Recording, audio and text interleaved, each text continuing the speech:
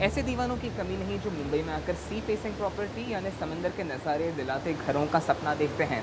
करोड़ों के घरों का ये सपना जब हद से कुछ ज़्यादा ही पास घर की दहलीज तक आ जाए, कैसा नज़र होता है देखने के लिए आप मुंबई की झुग्गियों में आ सकते हैं, जहाँ पर बिल्कुल घरों की दहलीज तक और दीवारों तक समंदर की लहरें आती हैं।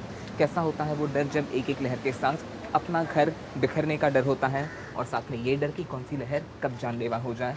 देखना है। तो आए जिसको इन नज़ारों की आदत नहीं है, उसको देख कर डर ज़रूर लगता है। लेकिन यहाँ पर हर शय के भीतर एक ऐसी तसल्ली है कि यहाँ पर नींद किसी के भी आड़े नहीं आती, खुद समंदर के डर के भी नहीं।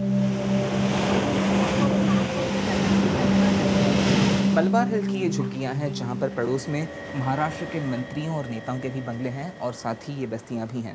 लेकिन लहरों के आगे कोई भेदभाव नहीं होता। लहरों के तांडव का खतरा जितना उन बंगलों को है उससे कहीं ज़्यादा इन बस्तियों को भी है, क्योंकि यहाँ पर हज़ारों की संख्या में लोग रहते हैं। वैसे घर के अंदर की बनावट आप देखें तो किसी भी घर की तरह है, जहाँ पर एक मुख्य कमरा है। उसके अंदर एक रिहाइश की जगह है, रसोई घर जैसा एक और कमरा। लेकिन उसके ठीक अगर आप पीछे आकर देखें तो नज़ारा बदल जाता है। सामने आपके बस घर के एक रोशनदान के अगर आप बाहर देखें तो आपको समंदर का नज़ारा दिखाई देता है।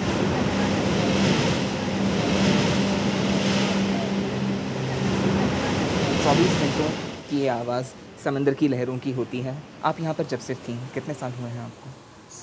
Thirty seven. Thirty seven. पहली बार जब आप आई थी यहाँ पे डर लगता था अंदर से? थोड़ा सा लगता था इतना ज़्यादा नहीं लेकिन हम लोग अच्छे रहते थे अच्छा।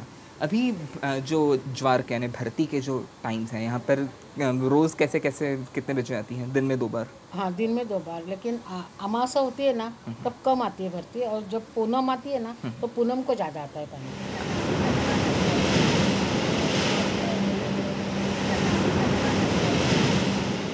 ज़ोर से मारता है वापस चला जाता है अंदर में। अच्छा लेकिन घर के सामान का कुछ नुकसान होता है क्योंकि एल्यूमिनियम के फ्रेम्स हैं या फिर पानी के ड्रम्स होंगे?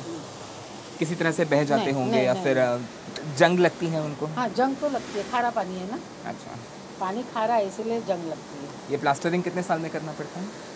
नहीं अभी ये करते तो चार पाँच साल हो गया अभी तो कोई ज़रूरत नहीं ऐसा तो हम लोग कितने साल करते ही नहीं।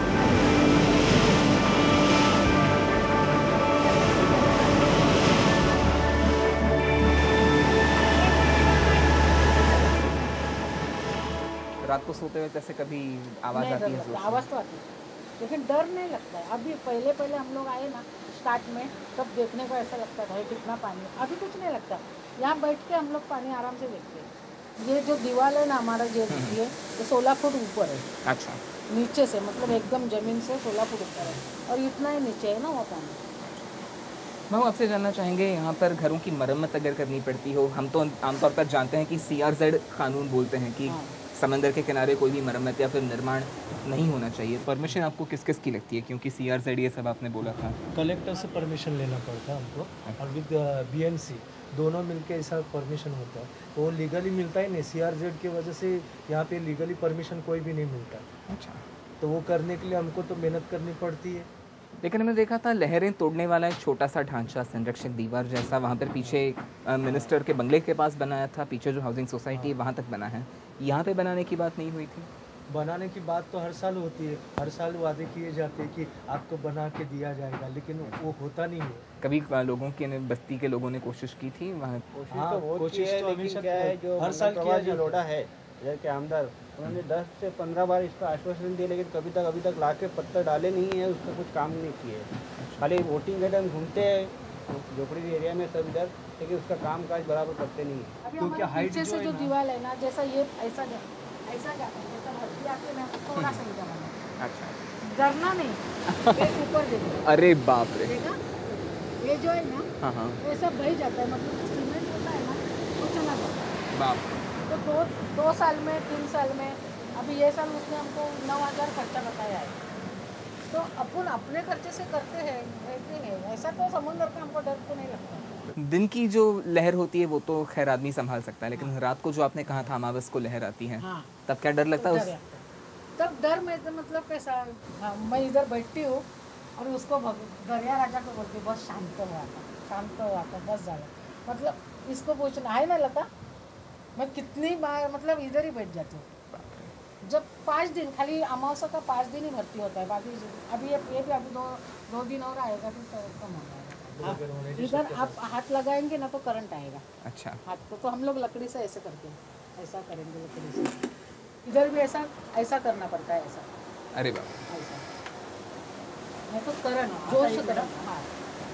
तो दीवार में अगर नमी हो तो उसको कुछ उसका ट्रीटमेंट करना पड़ता है कि वो अब है वैसा ही उसको छोड़ना है वैसा ही। रहता है वो तो है निकल जाता है, है जब गर्मी होता है तो निकल जाता है। है ये हवा की नमी से हम देख पा हाँ, रहे हैं यहाँ पर जंक के छींटे भी इस अलमारी पर लगे हुए हैं। वहाँ पर भी वैसा ही कुछ किचन में भी वो दिक्कत दिख रही है आपकी इस घर में दूसरी पीढ़ी है मौसी से जब बात हो रही थी वो कह रही थी कि उन्हें तो डर नहीं लगता।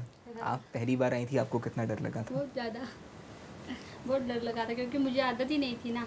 इन सब चीज़ों की। मुझे बहुत ज़्यादा डर लगता था पहले पहले। अभी नहीं लगता है। आपका जो बेटा है क्या उसको भी पानी का डर लगता है? नहीं उससे तो बिल्कुल डर नहीं लगता। हम लोगों को उससे डर लगता है कि वो देखने जाता है पानी घड़ी घड़ी तो ये जो खिड़की है तो क्या छोटा बच्चा है तो क्या कुछ अब उसको जाने से रोकते हैं या फिर कुछ और हाँ, जुगाड़ ना ज़रूर। अभी हम लोग हाँ, अभी उसके लिए हम लोग ग्रिल लगाने वाले हैं पीछे क्योंकि डर लगता है। अभी वो तीन साल का है अभी बड़ा हो जाएगा तो बात सुनेगा कि नहीं सुनेगा पता नहीं।